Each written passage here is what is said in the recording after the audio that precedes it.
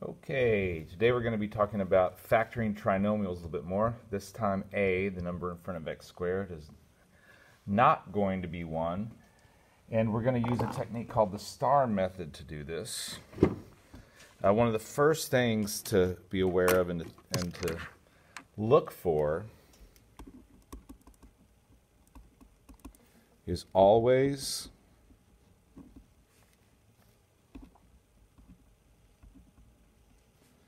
look for the GCF, greatest common factor.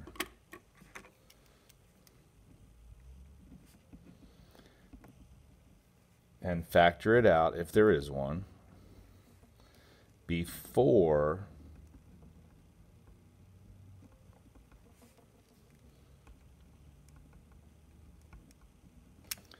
using the star method.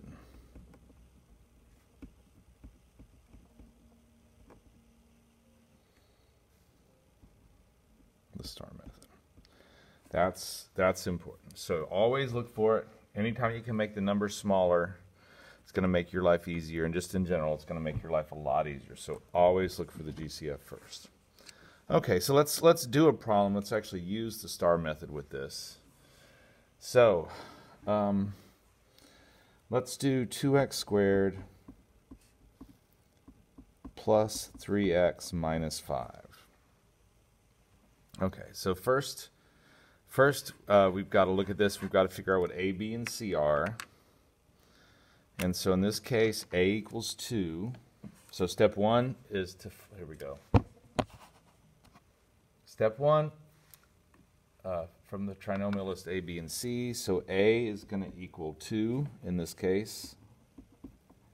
B is going to equal 3 and C is going to equal negative 5. So that's the first step. Okay, the second step is we're going to plug these into the star.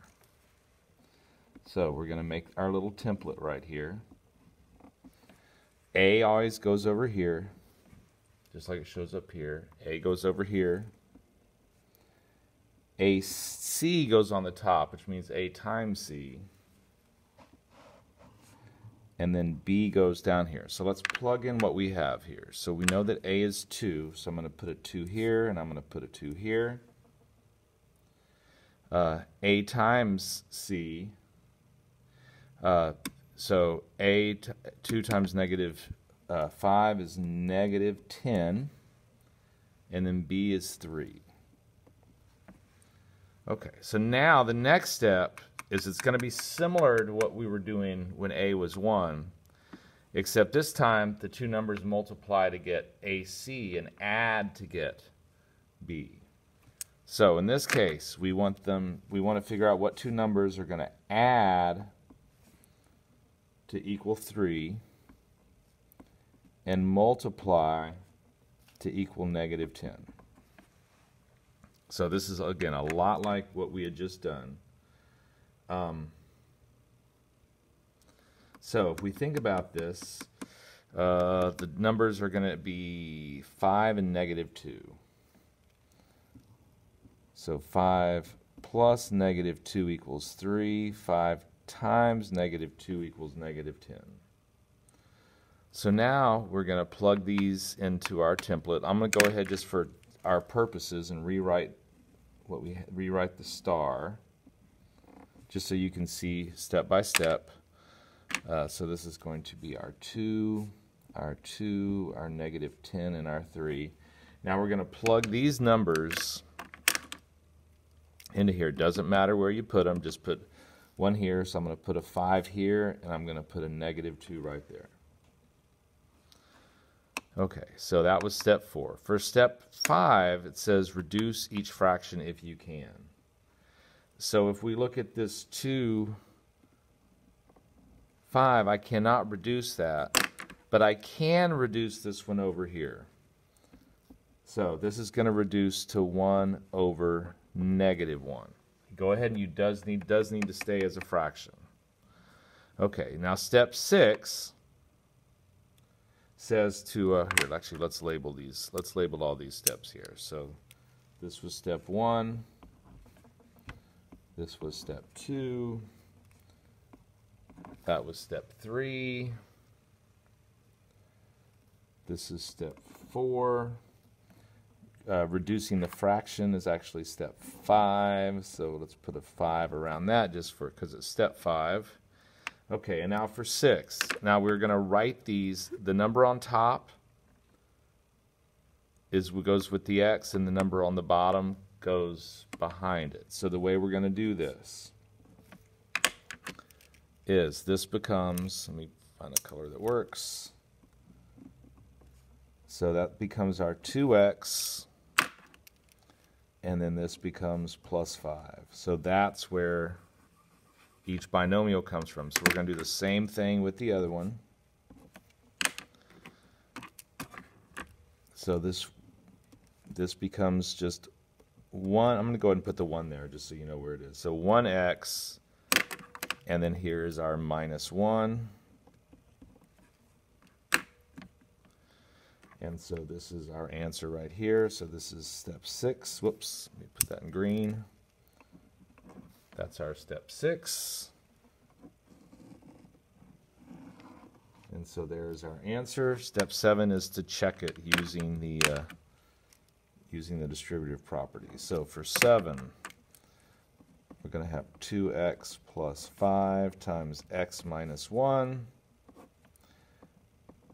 2x squared minus 2x plus 5x minus 5.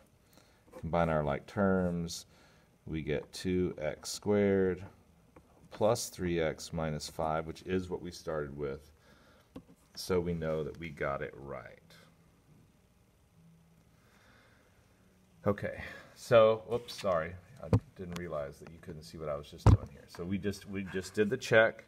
Uh, remember that unless it's prime, that it can be factored into two binomials, unless the trinomial is prime. Um, so let's go. Let's do another problem. Let's do this one right here. Let's do 5x squared minus 13x plus 6. And so we'll call this example 2 maybe. And this is going to be 5x squared minus 13x plus 6. Okay, so let's make our star.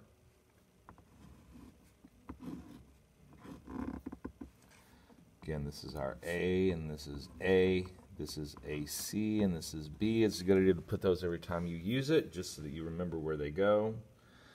Um, A is A equals 5, so we're going to have a 5 here and a 5 here.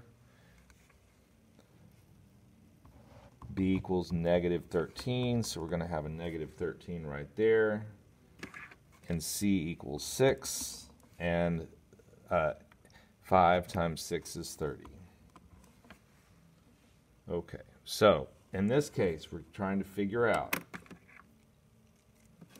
what two numbers are going to add to get 13 and multiply to get 30.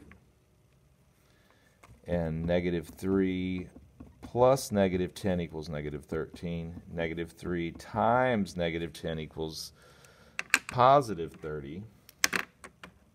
So let's plug in what we have here. So we'll just put a negative 3 in one place and a negative 10 in the other.